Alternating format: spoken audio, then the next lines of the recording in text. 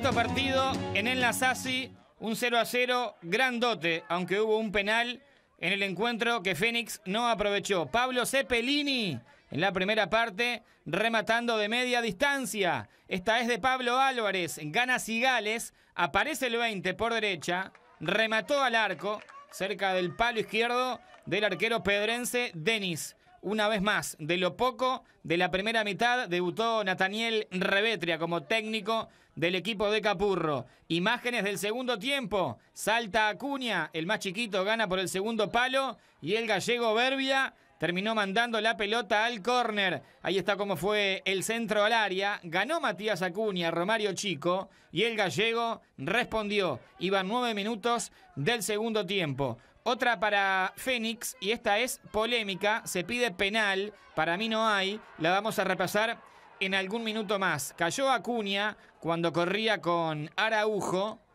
y para mí no es. Araujo va a ser protagonista otra vez, porque miren lo que pasa, acá hay un error defensivo. Saca Berbia, se la tira al Riverense Araujo, se la roba Leonardo Fernández y Araujo lo baja. Antonio García, el árbitro del partido, no duda, cobra penal y amonesta al defensor del equipo del Turco Apud que lo mueve al juvenil número 7, que él pide la volada, lo remata mal y Berbia, también con mérito, contiene el penal. El partido seguía 0 a 0, tuvo la más clara desde la pena máxima el equipo visitante. Otro momento para Leo Fernández, tiro libre y Berbia le dice que no, iba con efecto, pero el gallego respondió. No pasó demasiado en el encuentro. Otra polémica, centro de Pablo Álvarez. Para mí hay mano del Tito Ferro que se cubre del balón. Ahí la van a ver. El árbitro García no dijo nada. Todos pidieron penal